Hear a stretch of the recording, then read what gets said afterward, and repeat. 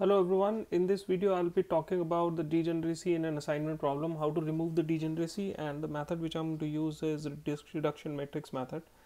That means first uh, the matrix will be reduced, the problem will be solved and after that we are going to reach to a particular point where we will remove uh, the degeneracy of the assignment problem. So this is a little big problem, I have 6 men and 6 jobs, each man is capable of doing each job and these are the different assignment costs which are given and uh, we need to solve this particular assignment problem. So you can uh, refer to previous two videos in which I have already mentioned that uh, in reduction matrix method what how do I start is first thing is I want to I exactly see the minimum of each row and subtract it throughout. So let's start with it. So if you look into the first row the minimum is 9 if you can see that in whole row the minimum is 9 and I'm to subtract 9 throughout so 9 minus 9 is 0, 22 minus 9 is 13, 58 minus 9 is 49, 11 minus 9 is 2, 19 minus 9 is 10, 27 minus 9 is 18. So the first row is, I am repeating it, select the minimum of the row and subtract it throughout. Let's go with the second row. So I'll keep doing the thing simultaneously. If you look into the second row of the table, the uh, minimum in this particular row is 43. So we are going to subtract 43 throughout. So 43 minus 43 is again 0. 78 minus 43 is 35.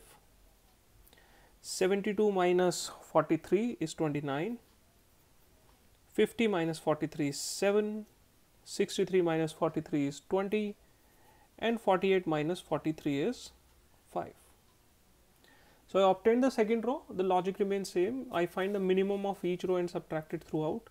Let's see the third row now. If you look into the third row, the minimum here is um, 28. So, we are going to subtract 28 throughout. So, 41 minus 28 that gives you 13. 28 minus 28 that gives you 0 then 91 minus 28 91 minus 28 that gives you 63 then 37 minus 28 that gives you 9 45 minus 28 that gives you 17 and uh, then comes 33 minus 28 that gives you 5 now let's move to the fourth row if I look into the fourth row, what is the minimum you could see? The minimum here is 27. You can see that minimum in fourth row is 27. So, we are going to subtract uh, 27 throughout. So, 74 minus 27 gives me 47.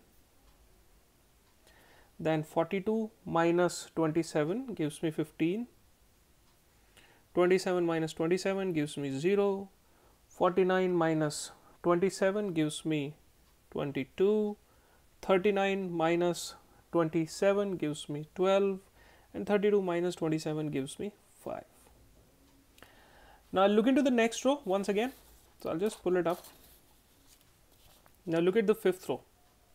In fifth row, if you look into the thing, the okay, let me fold it a bit so that can give me a little more space. That seems good. Flexibility. So, let us see the fifth row now. Now, if I uh, identify the fifth row, the minimum is 11 and I am going to subtract 11 throughout. So, 36 minus 11 is 25, 11 minus 11 is 0, 57 minus 11 is 46, 22 minus 11 is 11, 25 minus 11 is 14 and 18 minus 11 is 7. Now, let us feed the last row. Last row, what is the minimum? 3. So, 3 minus 3 is 0, 56 minus 3 is 53, 53 minus 3 is 50, 31 minus 3 is 28, 17 minus 3 is 14 and 28 minus 3 is 25.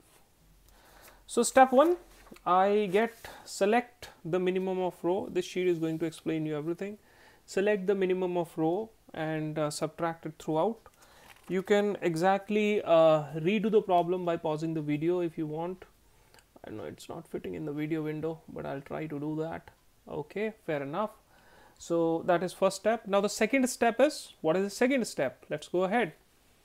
Select second step is select the minimum of each column and subtract it throughout. Select the minimum of each column and subtract it throughout. So let's go ahead and how do we exactly get do that? So i'll do it again one by one. So in my first column what is the minimum? The answer is the minimum is 0 so if i subtract 0 throughout 0 minus 0 is 0 0 minus 0 is 0 13 is minus 0 is 13 47 minus 0 is uh, 47 25 minus 0 is 25 0 minus 0 is 0 so the column remains throughout same. So in any column where 0 is exactly same the values are going to remain absolutely same because the minimum is 0 and you subtract 0 throughout it remains as it is. So if you look into the first three columns the minimum element is 0 so they're going to remain absolutely same. So i'm just going to replicate them quickly. It is 0 0 13 47 then comes 25 then comes 0 the next is 13 35 0 15 0 53 and the next is 49 29 63 0 46 and 50 now, the actual story starts with column number 4. So, if you look into the column number 4, the minimum is 2, it is not 0 anymore. So, I am going to subtract this 2 throughout the column. So, let me put it this way, let me just uh, again uh, give me a little bit of space right here. So, let us see the column number 4 here. So, if I look into the column number 4, the minimum is 2, so 2 minus 2 is 0, 7 minus 2 is 5, 9 minus 2 is 7, 22 minus 2 is 20 and then 11 minus 2 is 9 and 28 minus 2 is 26. Fair. Now let's see the fifth column. What is the minimum in fifth column? The answer is 10. So let's subtract the 10 throughout. So 10 minus 10 is 0. 20 minus 10 is 10, 17 minus 10 is 7, 12 minus 10 is 2, 14 minus 10 is 4, 14 minus 10 is 4.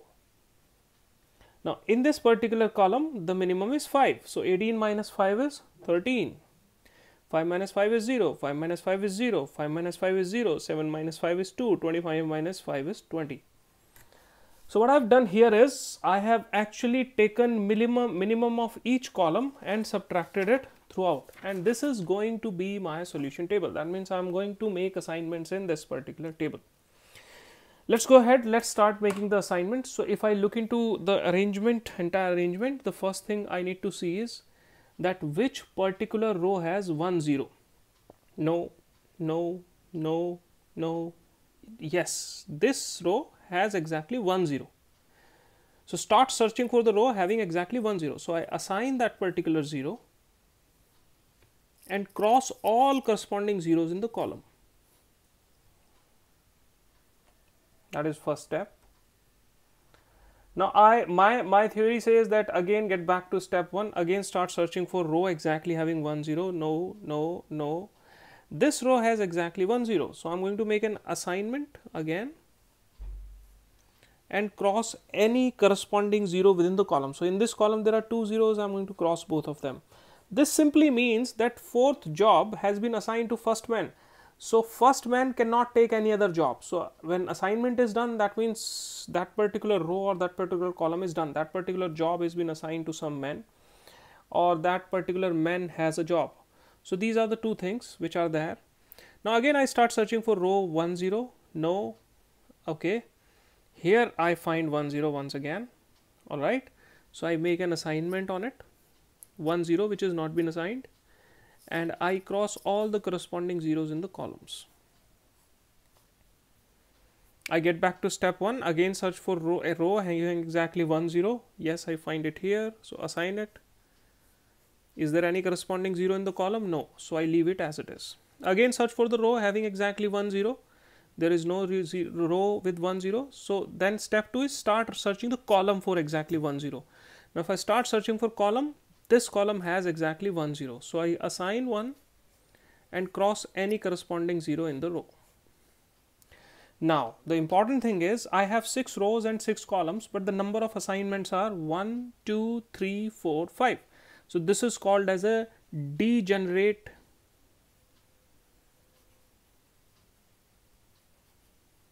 oh sorry I've written out of the box it says degenerate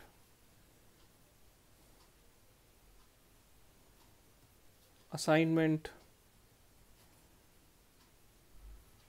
problem. And when it appears when number of assignments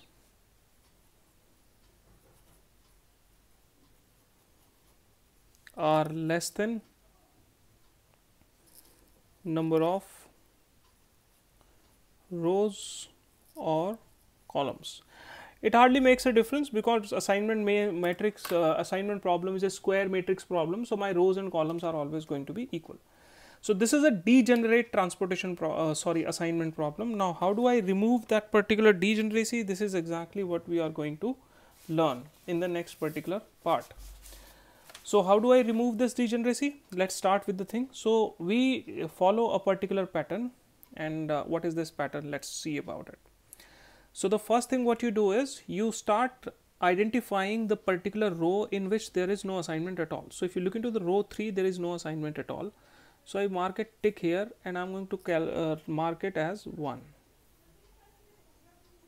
Now, within this row, so first I select the row where there is no assignment at all and then within this row I see the zeros which are crossed. So, if I look into the thing there are two places where zeros are crossed. One is this 0 and other is this, this 0 so i am going to mark this as 2 and this column as column 3 so i'm repeating the steps.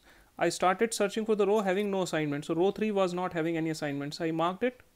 Then within this particular row where the crossed zeros are I marked second and third. There is no possibility of having assignment in it because I have selected uh, dedicatedly a row when, where there is no assignment. Now in newly marked rows columns, I search for the row having the assignment. So if I look into this particular uh, column here, there is an assignment here. So that is marked as 4 and if I look into this there is an assignment here this is marked as 5 this is an automated process which will finish itself now in newly marked rows, I search for the crossed zeros. So is there any cross zero in here? No, nothing. If I look into this, yes, I find a cross zero here. So I mark it number, I mark it number 6. Again in newly marked row, I see where the cross zero is. The cross zero in this particular sixth, if I look into the thing, where exactly, so I have marked the fifth and I have looked exactly where the crossed zero is and I have taken it up. Okay. That's it. And in this particular row when I move I look into the assignment. So assignment is right here. I marked it number 7 so moment I enter from the row I look for the crossed zeros. And moment I enter from the column I look for the assigned zeros. Now uh, it is actually completed. Now I'm going to draw some lines. The lines are going to go for from I'm writing it here unmarked rows and marked columns. So, look into the rows. So, let me drop some rows here. Unmarked rows. So, one row is this unmarked row. So, I am going to drop a line here. Where is the other unmarked row? Other unmarked row is first one. Now draw some lines from marked columns. So marked columns are 2, 6 and 3. So one line is this, one line is this and other line is this right here. So unmarked rows and marked columns. Now once I drop these lines, that is now very very important part here. What I do is after drawing these lines I look into the left out elements. That means which are not on the lines. That like 29 is not on the line. 5 is not on the line. 10 is not on the line. 63 is not on the line. 7 is not on the line. This 7 is also not on the line. So I look into the uh, left out elements and I pick minimum out of them. So minimum is 4 appearing it? Two places. So I just look into the uh, I would say Uh, left out elements and then I pick minimum out of them